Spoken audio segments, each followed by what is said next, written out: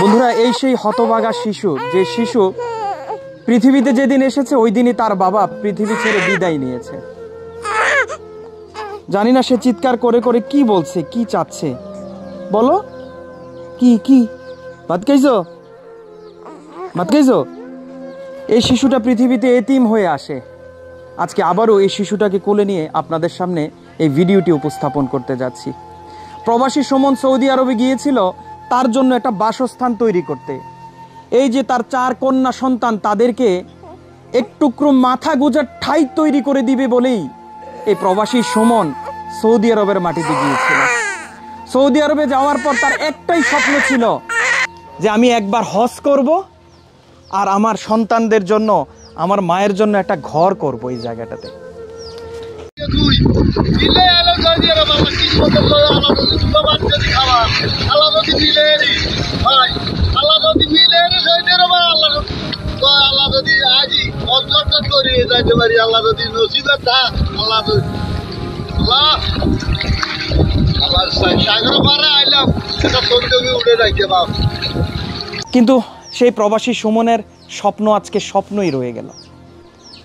বন্ধুরা, আপনারা সকলেই জানেন প্রবাসী সুমন সৌদি আরবের দাম্মাম শহরে মারা যায় এবং যাওয়ার দিনে ওই দিনে ওই সন্তানটা পৃথিবীতে আসে। তার চার কন্যা সন্তান, দুইজন বোন, মা এবং স্ত্রী। পরিবারে প্রায় আটজন সদস্য রেখে গেছেন। কিন্তু ইনকাম করার মতো কোনো মানুষ, এক টাকা ইনকাম করার মতো কোনো ব্যবস্থা রেখে যান নাই। তো যখন আমরা এই দুর্দশার চিত্র আপনাদের সামনে তুলে ধরেছি, আপনারা এই পরিবারটির পাশে এসে দাঁড়িয়েছেন, তাদেরকে গরু কিনে দেওয়ার ব্যবস্থা করে দিয়েছেন। তাদের জন্য সেলাই মেশিন কেনার জন্য ব্যবস্থা করে দিয়েছেন। এই পরিবারটা সচ্ছল থাকার জন্য আপনারা আপ্রাণ চেষ্টা করেছেন। কিন্তু আজকে আমি আপনাদের কাছে অনুরোধ জানাই, এই যে কনকনে শীত আসছে, এই শীতে এই পরিবারটা এই পরিবারটা জরান্ন এই জরার জন্য অবস্থায় কীভাবে থাকবে? আমরা কি সবাই পারব প্রবাসী সুমনের শেষ স্বপ্ন বাস্তবায়ন করতে?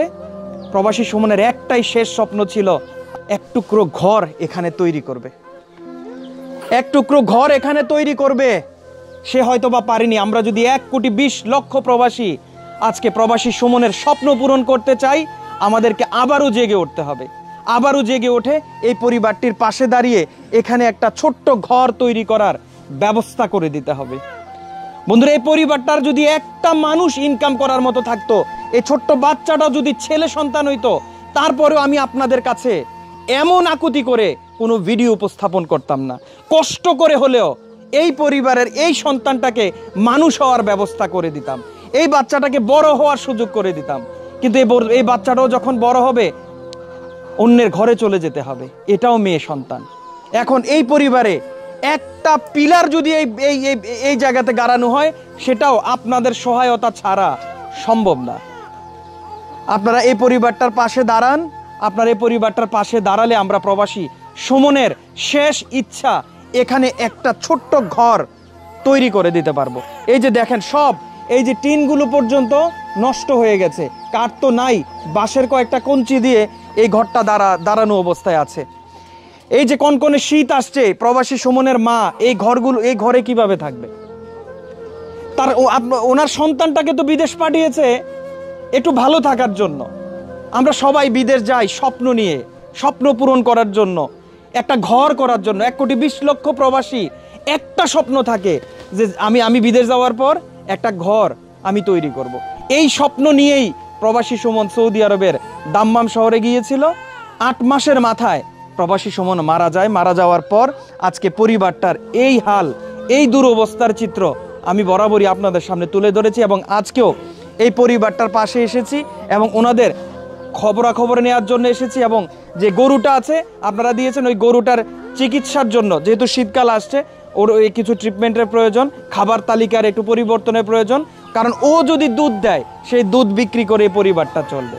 সেই আশা নিয়ে আজকে পরিবারে আবারও এসেছি এবং এসে আসলে যে অবস্থা দেখছি, এই অবস্থায় আসলে এই পরিবারটা, কিছুদিন পরে যদি আরও কনকনে শীত পড়ে, আমার মনে হয় না মানে প্রত্যেকটা জায়গা দিয়ে শীত মানে হু হু করে ঢোকার মতো পরিবেশ। এই পরিবেশে আসলে মানুষ যে থাকবে, তারা যে থাকবে, বাচ্চারা যে থাকবে, এমন কোনো অবস্থা নাই। আমরা যাতে আবারও সম্মিলিত প্রচেষ্টায় প্রবাসী সুমনের শেষ ইচ্ছা পূরণ করতে পারি, এই আশা নিয়ে আজকে আমি আপনাদের সামনে এসেছি। আপনারা আবারও এই পরিবারটার পাশে দাঁড়াবেন। আপনারা স্ক্রিনে, ডিসক্রিপশনে আমি বিকাশ নগদ নাম্বার দিয়ে দিয়েছি। আপনারা এখানে সহযোগিতা পাঠিয়ে এই পরিবারটাকে এই শীতে এই শীতে আমরা আমরা আমরা আমাদের একটা কম্বল নাই তো দুইটা কম্বল আছে। কম্বল নাই তো মানে কি বলব, দামি কম্বল প্রতি বছর বছর বদলায় কিন্তু এই পরিবারটার শীত তারা নিবারণ করতে পারবে না। আপনারা আরও একবার এই পরিবারটার পাশে দাঁড়ান। এখন আমরা যদি সবাই সম্মিলিত প্রচেষ্টায় আরও একবার একটু জেগে যাই, তাহলে এখানে আমরা একটা ঘর।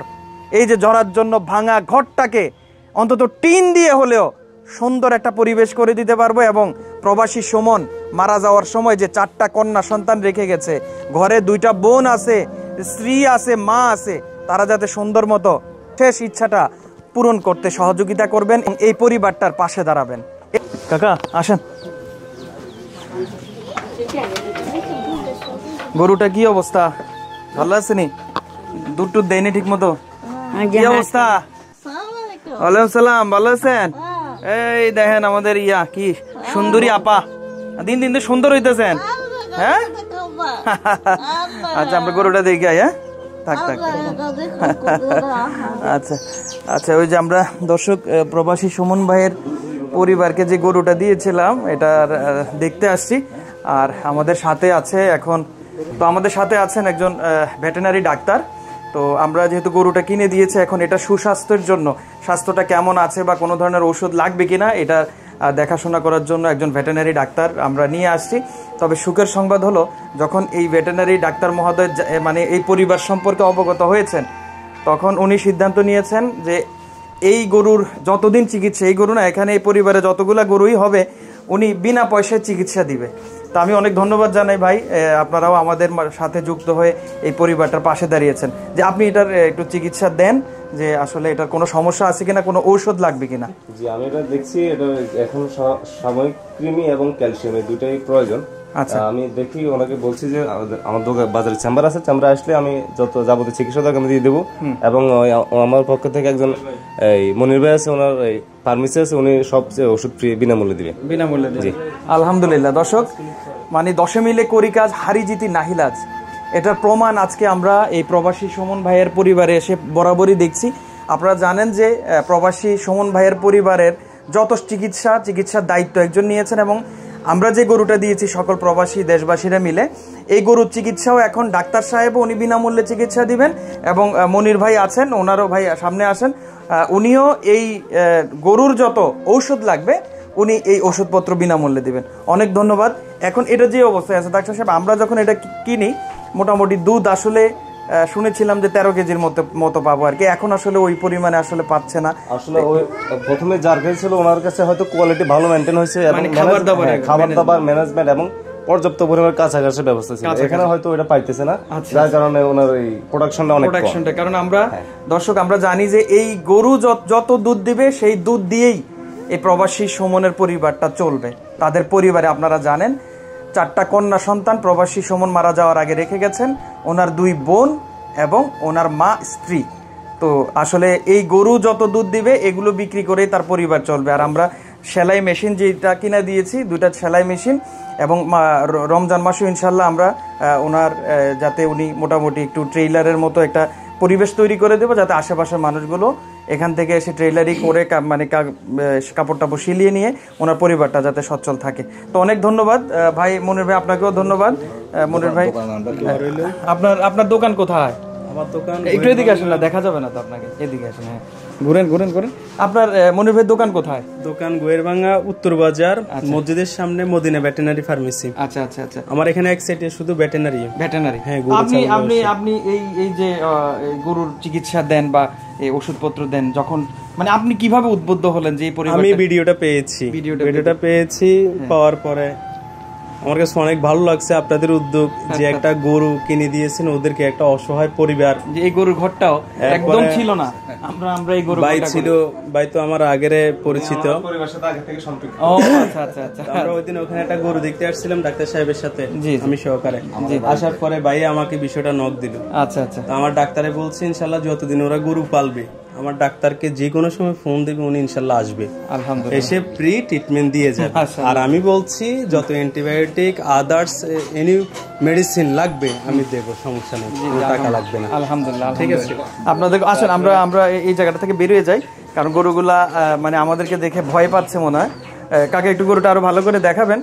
মোটামুটি ভালো খাবার দিলে মনে হয় ভালো দুধ পাবে। আর এটা হচ্ছে এই বাছুরটা। এই তুমি এদিকে আসো। এটা হচ্ছে এই গরুর সাথে থাকা মানে যেটা আমরা গরুর সাথে পেয়েছিলাম। এটাও মাসাল্লাহ তো এই এই হচ্ছে আলহামদুলিল্লাহ এখন প্রবাসী সুমন ভাইয়ের একটা খামার, গরুর খামার যেটা আমরা তৈরি করে দিয়েছি। আল্লাহ তালা দিয়েছেন, আমরা উসিলে হিসাবে সবাই মিলে কাজ করেছি।